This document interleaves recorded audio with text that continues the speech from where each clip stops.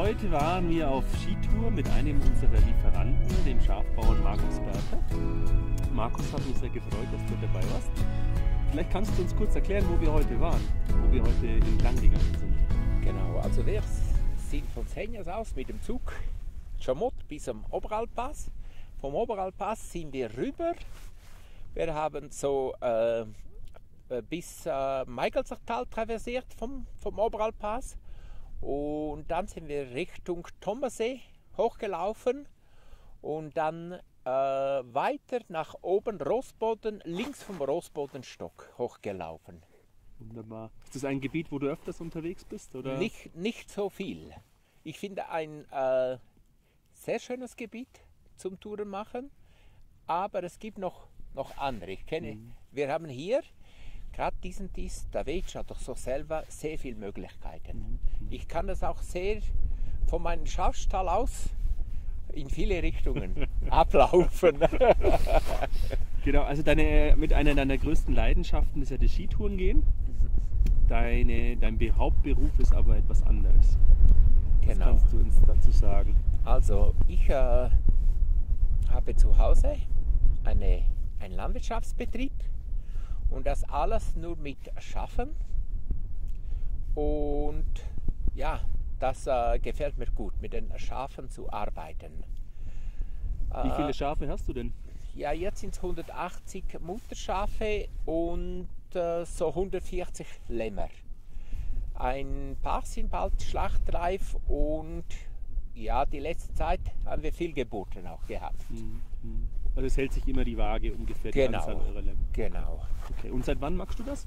Ich mache das eigentlich seit, ich äh, eigentlich 24 Jahre alt bin.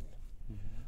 Und dieses Jahr werde ich 60. Ja, sind äh, dann 36 Jahre, wo ich mein Hobby zum Beruf gemacht mhm. habe. Mhm. Spannend. Kannst du vielleicht ein bisschen was ähm, zur Schafhaltung im Jahresablauf erzählen? Wie, was sind so die wichtigsten Stationen, die die Schafe im Jahr erleben oder, oder erleben dürfen? Ja.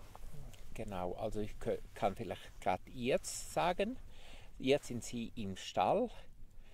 Jetzt habe ich allen Klauen geschnitten. Und jetzt denke ich, dass ich drei Wochen sie noch füttern muss. Und dann kommt dann Frühling, dass ich zuerst meine Wiesen arbeiten kann. Und sobald dann die Almende, das heißt die Weide dann äh, parat ist, dann schaue ich dann, dass der Schaf hier kommt und sie dann hütet, so einen Monat lang auf so Almende, das ist äh, so Weide, wo der Gemeinde gehört, wo wir eigentlich äh, arbeiten und so äh, das ist noch relativ nahe am, am Tal. Am Tal, ja. und, genau. Und das würde dann mit der Zeit einwachsen, wenn wir mit den, mit den Schafen nicht äh, arbeiten würden. Und dann äh, so, sobald die Vegetation auf der Alp dann anfängt, dann laufen wir dann mit der Herde auf der Alp. Und ich habe das Gefühl, wenn die Schafe auf der Alp sind, das ist eigentlich das sind die Schafe am glücklichsten.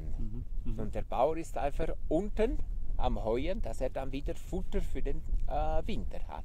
Ja. Das heißt, im Winter sind die Schafe bei dir am Hof? Genau. Ab September, Oktober? Äh, aber ich würde sagen, von Mitte Oktober sind die Schafe dann bei mir. Mhm. Und dann weide ich noch das letzte ab, bevor der Schnee dann kommt.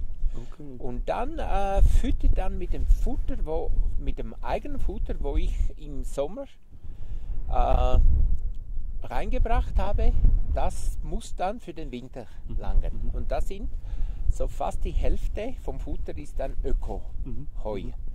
Das heißt, du bist ein biologisch zertifizierter Betrieb? Oder? Genau, ich, äh, ich habe einen Biobetrieb und ähm, mache viele Wiesen, sind dann äh, unter äh, Biodiversität und Landwirtschaftsqualität. Also mhm. ich muss ich habe mit dem Bund sehr viele äh, Verträge abgeschlossen, für jede Wiese fast einen Vertrag abgeschlossen. Das ist das Einhalt zum Beispiel, dass ich die, den Schnittzeitpunkt einhalte.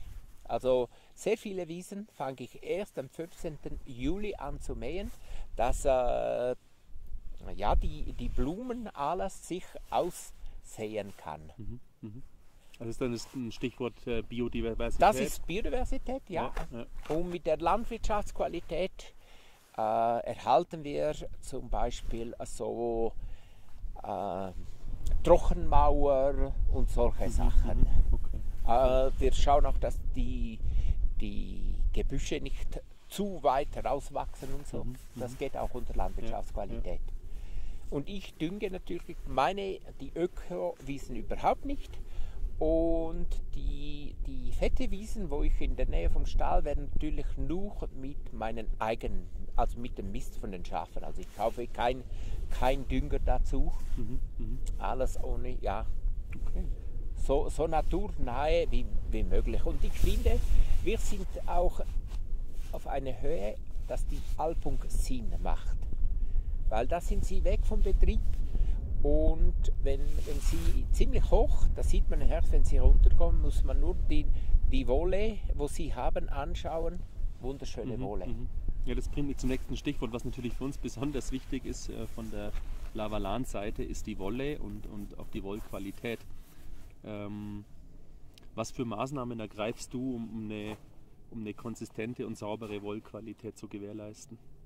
Also ich muss sagen, äh, wenn Sie auf der Alp, mach, äh, Alp sind, die sind ja von 2000 gehen Sie bis auf 3000, da muss man eigentlich gar nichts machen.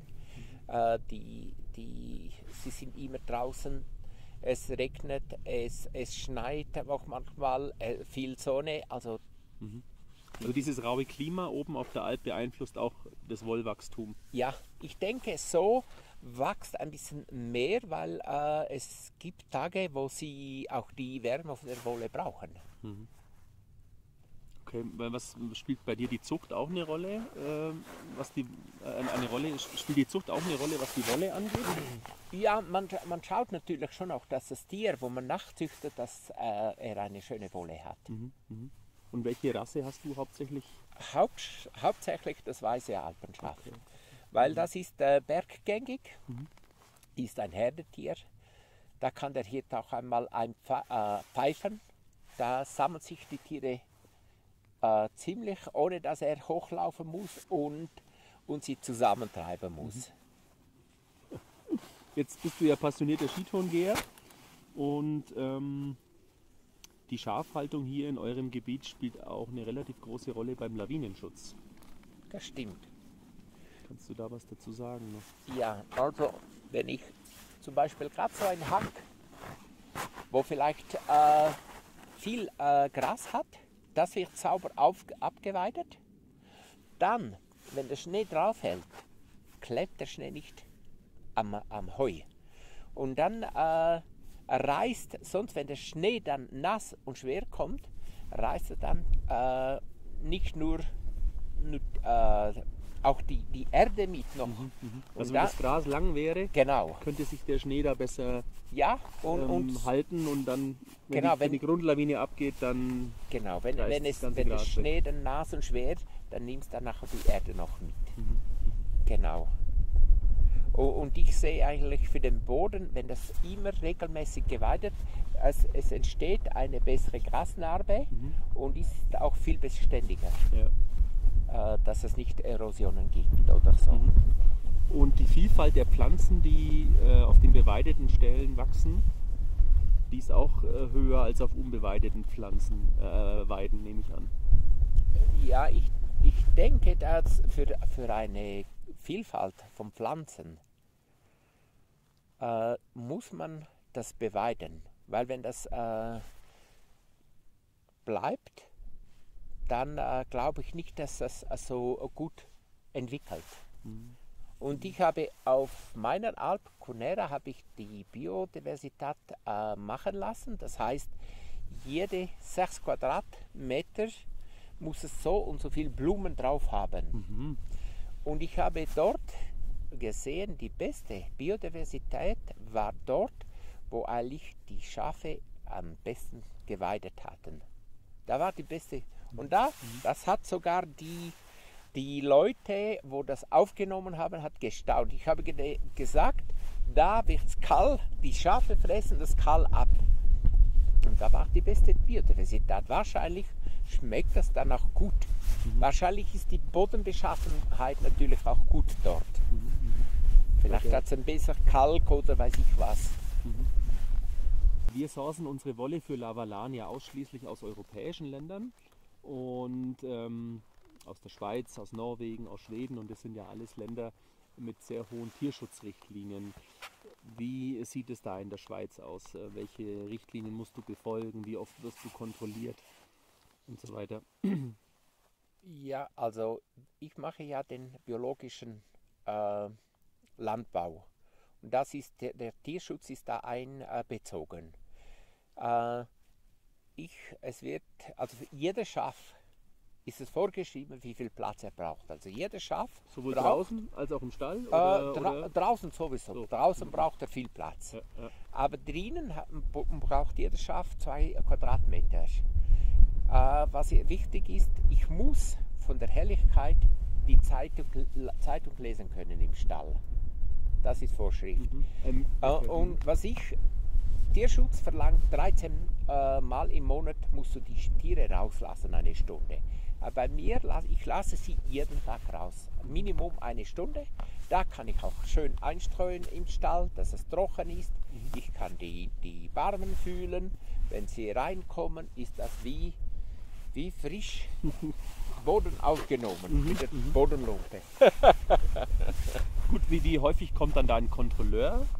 Äh, Von welcher, von welcher Behörde? Also das ist eigentlich vom, vom äh, Kanton. Kanton führt diese Kontrollen aus. Und ich habe jedes Jahr eine angemeldete Kontrolle, aber ich weiß nie, wenn einmal eine unangemeldete Kontrolle. Und wenn, wenn einmal eine unangemeldete Kontrolle kommt und du haltest nicht an dem, wo, wo vorgeschrieben ist, dann gibt es äh, ziemlich, ziemlich Busse.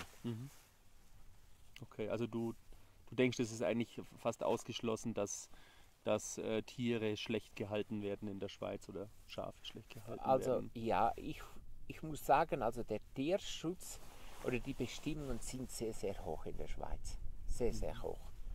Und auch nicht nur äh, der Tierschutz, auch der Gewässerschutz. Also ich musste natürlich gerade vor zwei Jahren noch über 100.000 nur für den Gewässerschutz investieren. Das aus ei- meinem eigenen Portemonnaie.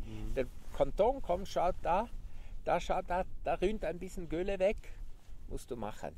Musst du eine Güllengrube, ein Mistkasten bauen, über 100.000 Franken. Ja, das wird verlangt heutzutage. Wenn du Tiere halten musst, musst du am, am Tierschutz, am Gewässerschutz und, und noch viel andere Sachen halten. Also es ist nicht, nicht einfach ein Betrieb zum allen Vorschriften äh, gerecht werden. Das braucht viel. Ähm, Sch- die Schuhe haben wir jetzt noch gar nicht thematisiert. Wie, wie häufig schert ihr im Jahr eure Schafe? Also, ich schere sie immer im Herbst und im Frühjahr. Aber es hat jetzt vi- viel mehr, also immer mehr Bauern, wo nur äh, im Herbst die Schafe scheren. Was ich finde, man, äh, wir haben einen dabei bei uns, wenn wir auf Kavrein gehen, wenn es warm ist und so, wir laufen hoch mit den Schafen, da sieht man schon, dass die Schafe natürlich Frühjahr diesen Pelz drauf haben, wo schon sehr warm für die Tiere. Ich finde, äh, tiergerecht wäre zweimal im Jahr scheren. Das ist meine Meinung. Ja. Oh, und äh, die Hirtin sagt auch, wenn es heiß oben ist, die Schafe, wo nicht geschoren sind, die liegen dann viel mehr, mehr äh, als, als fressen. Weil die tragen auch viel Gewicht mit sich rum. Ja, ne? und, und, und sie haben natürlich auch ein bisschen wärmer als die anderen Schafen. Okay. Ja, Wie viel Kilogramm Wolle gibt ein Schaf bei dir ja. im Durchschnitt? Im, Im Herbst haben sie ein bisschen mehr Wolle drauf. Ich würde sagen, so drei Kilo. Drei, Kilo Wolle. das ist, da hat, das ist ein großes Schaf mit drei Kilo. Drei, dreieinhalb, das ist ein großes Schaf. Ja, vielen Dank, Markus, dass du heute mit dabei warst. Hat sehr viel Spaß gemacht. Das wiederholen wir auf jeden Fall. Und ähm, wir besuchen dich ja noch in den nächsten Tagen in deinem Stall. Schauen wir uns das näher an.